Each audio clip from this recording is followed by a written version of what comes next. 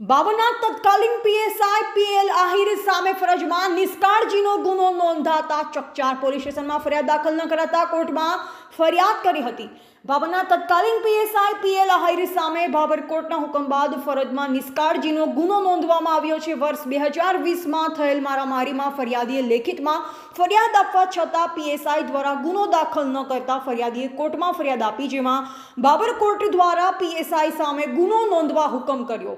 બાબર ખાતે શાંતિનગર સોસાયટીમાં નવ સપ્ટેમ્બર બે હજાર વીસના રોજ રતનસિંહભાઈ, રાયમલભાઈ ચૌધરીના પરિવારજન ઉપર હુમલો કરી ઇજા પહોંચાડી હતી. આ અંગે રતનસિંહભાઈ ચૌધરીએ બાબર પોલીસ મથકે લેખિત ફરિયાદ આપેલ છતાં પણ તત્કાલીન પીએસઆઈ પીએલ હાઈરે ફરિયાદ ન લઈ ગુનો દાખલ કર્યો ન હતો અને સામે આરોપીઓ જોડે મળી આ કામના ફરિયાદી ઉપર ફરિયાદ કરી હતી, જેથી ફરિયાદ રતનસિંહભાઈ તેમની ફરિયાદ વિશે તપાસ કરતા પીએસઆઈએ જણાવેલ કે તમારી ફરિયાદ નથી લેવાની, થાય તે કરી લો. આથી રતનસિંહભાઈ ચૌધરીએ ન્યાય મેળવવા માટે બાબર જ્યુડિશિયલ કોર્ટમાં ફરિયાદ દાખલ કરી, જેમાં ફરિયાદી પક્ષે વકીલ શ્રી હર્ષદાર ચૌધરી દ્વારા ધારદાર રજૂઆત કરતા ન્યાયાધીશ શ્રી એસપી દવે સાહેબે પીએસઆઈ પીએલ આહિર સામે ગુનો દાખલ કરવાનો હુકમ કર્યો, જે આધારે પીએસઆઈ એનવી રહેવરે અઢાર ઓક્ટોબરના રોજના તત્કાલીન પીએસઆઈ પીએલ આહિર સામે ઇપિકો કલમ એકસો છાસઠ એકસો છાસઠ એ મુજબ ફરજમાં બેદરકારીનો ગુનો નોંધી તપાસ હાથ ધરતા પોલીસ બેડામાં ચકચાર મચવા પામી છે. એવા સોમાભાઈ જે રાવળ ભાભર.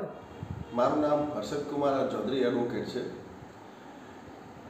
ગઈ તારીખ નવ નવ બે હજાર વીસના રોજ ફરિયાદી રતનસિંહભાઈ રામલભાઈ નાઓ દ્વારા બાબર પોલીસ સ્ટેશનમાં એક લેખિત ફરિયાદ આપેલી દસ નવ બે હજાર વીસના દિવસે, જે ફરિયાદના અનુસંધાને બાબર પીએસઆઈ દ્વારા કોઈ કાર્યવાહી કરવામાં આવેલી નહીં અને ઉલટા ચોર પોલીસ કોટવાલ કો દાટે એવી નીતિ અપનાવી અને આ કામના આરોપીઓ પાસે મળી જઈ તારીખ બાર નવ બે હજાર વીસના રોજ તત્કાલીન પીએસઆઈ છે પીએલ આહિરના હોય આ કામના ફરિયાદી ઉપર ગુનો દાખલ કરેલો.